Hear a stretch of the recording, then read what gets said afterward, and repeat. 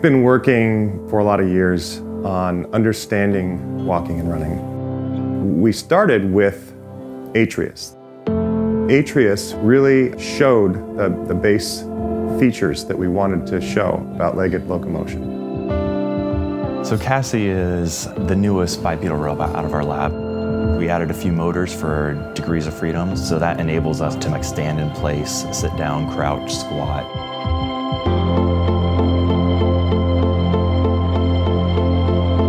We've had to upgrade pretty much everything from ATRIAS to get the size down. We've had to build a lithium ion battery pack. We looked around to having people build it for us, and the two markets for that really exist in electric vehicles and home backup power, and those are both just way too large for our applications.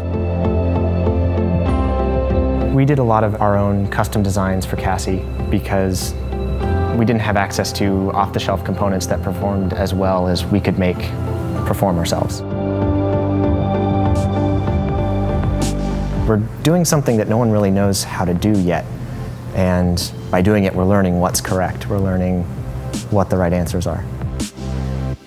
There are a lot of robots out there that will take one step and put one step in front of the other, but they take a huge amount of energy to do it, or any small disturbance, these robots that are just sort of demonstrations will fall over or fail.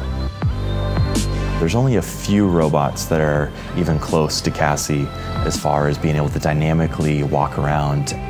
Having only two legs is a much more complicated problem that we don't fully understand yet as compared to four legs. You know, a biped, and you can think of a two-legged table, is not going to be very stable, so there's a lot you have to do there. You really have to move your feet around.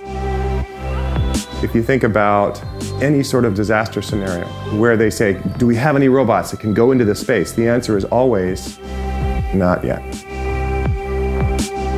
Imagine you've got a fire in a building, and the fire chief isn't really sure if somebody's still in the building.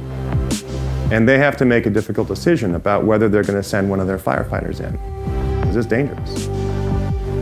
If you have a robot that has the same capabilities as a person, you wouldn't think twice about sending that robot.